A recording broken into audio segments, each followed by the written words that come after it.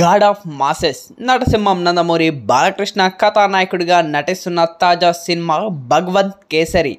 Shiny screen పతాకంపై హరీష్ పెద్ది సాహు గరకపాటి ఈ యొక్క మూవీని నిర్మిస్తూ ఉన్నారు. ఇక అనిల్ రావుపూడి తెరకెక్కిస్తూ ఉన్నారు. విజయదశమి సందర్భంగా సినిమా విడుదల కానుంది. ఇక ఈరోజు బాలేబాబు బర్త్డే సందర్భంగా టీజర్ను విడుదల విడుదల చేసింది చిత్రబృందం.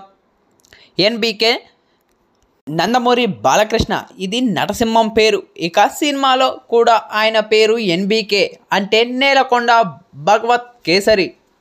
టీజర్లో ఎన్బీకే ఊచకోత ఎలా ఉందో ఈజీగా అర్థమైపోతూ ఉంది. ఇక ప్రేక్షకుల ఊహలకు అందని రీతలో భగవంత్ కేసరి సినిమా ఉండబోతుందని ట్వీజర్ ద్వారా అనిల్ రావుపూడి చెప్పేశారు.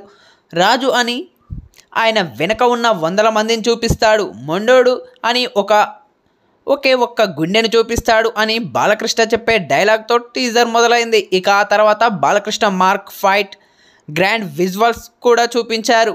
అడవి బిడ్డగా బాలకృష్ణ కనిపించనున్నారు. ఇక ఈ పేరు చాలా ఏండ్లు యాదుంటుంది అని చివర్లో వచ్చే డైలాగ్ ఆ తర్వాత బ్యాట్ పట్టుకొని బాలకృష్ణ గిటార్ కింద వాయిస్తూ సరదాగా పిల్లలతో బస్సులో వెళ్తున్న సీన్ హైలైట్ అని చెప్పవచ్చు.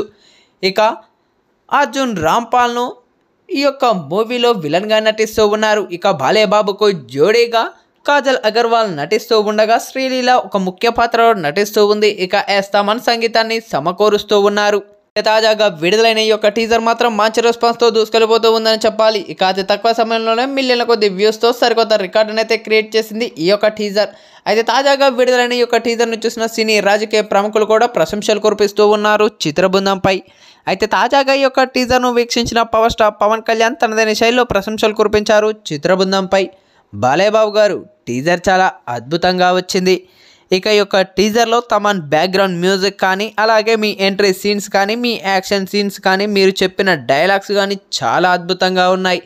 మరీ ముఖ్యంగా మీరు బస్సులో బ్యాట్ను పట్టుకొని గిటార్ వాయిస్తున్న విజువల్స్ కానీ అలాగే విలన్స్కు మీరు వార్నింగ్ ఇస్తున్న విజువల్స్ కానీ చాలా అద్భుతంగా ఉన్నాయి. పక్క యొక్క టీజర్ మంచి రికార్డులను క్రియేట్ చేయాలని మనస్ఫూర్తిగా కోరుకుంటున్నాను అంటూ పవర్ స్టార్ పవన్ కళ్యాణ్ చేసిన ఈ వ్యాఖ్యలు ఇప్పుడు వైరల్ అవుతూ ఉన్నాయి.